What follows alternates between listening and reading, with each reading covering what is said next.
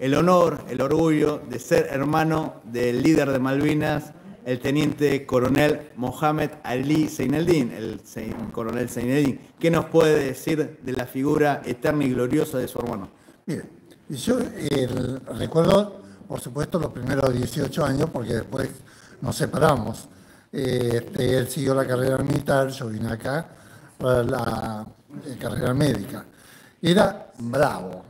Cuando se ponía a hacer algo, eh, la trataba de buscar hasta último momento. Pero, con respecto a Malvinas, fíjese qué casualidad.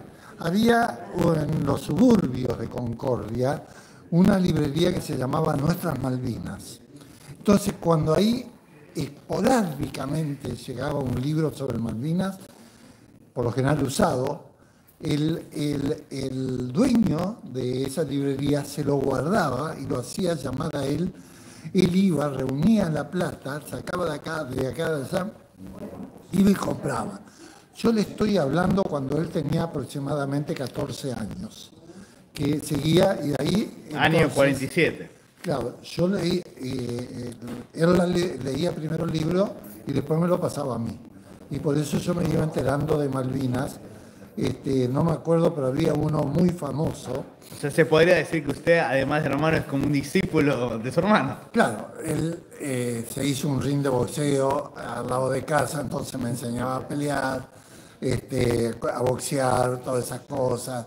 Tenía su bolsa de, y quería ser militar. nos habían regalado selecciones de Reader Digest. Entonces, el problema era de que él juntaba las figuritas de infantería y yo juntaba los aviones.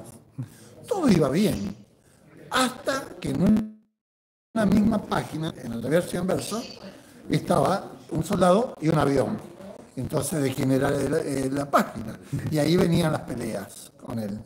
Pero, eh, le vuelvo a insistir, él se dio al remo, el boxeo lo utilizó más como para aprendizaje de defensa personal, porque nunca boxeó, nunca boxeó. Este, pero el remo sí, era singlista y entonces este, de vez en cuando lo veíamos nadando en la mitad del río con el, arrastrando el single porque se había dado vuelta. Y a pesar de que era un verdadero argentino, no le gustaba mucho el fútbol. Esto sorprende. No, no, no, no, no, ni a mí tampoco.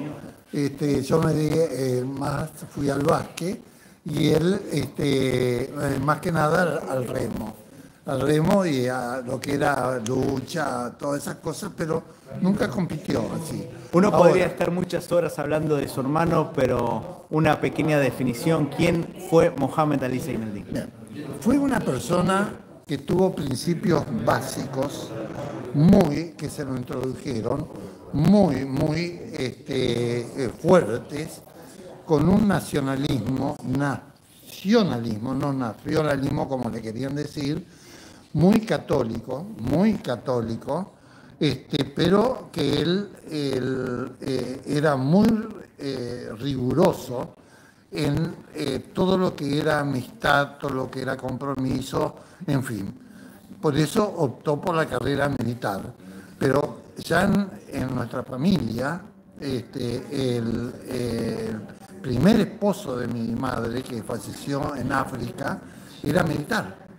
O sea que también él venía eh, con ese pensamiento de que él tenía que seguir la carrera militar.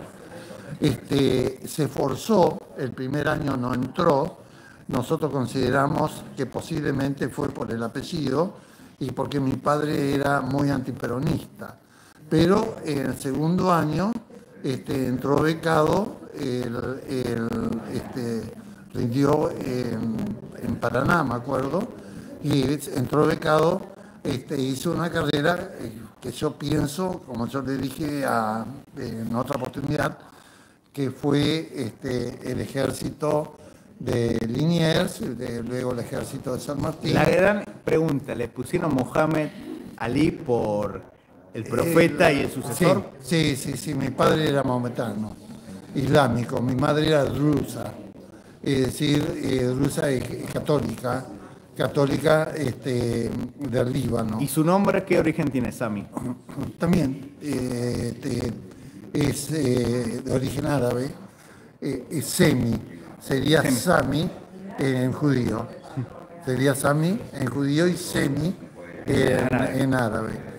Y eso este, nunca supe bien qué era, qué, eh, cuál era el significado, pero bueno, ese es mi nombre, con Y. Muchísimas gracias, viva la patria. No, viva la patria, muy bien lo que usted hace, siga adelante, escriba otras, todo lo que se le ocurra sobre Malvinas, porque el espíritu debe seguir, debe seguir. Muchas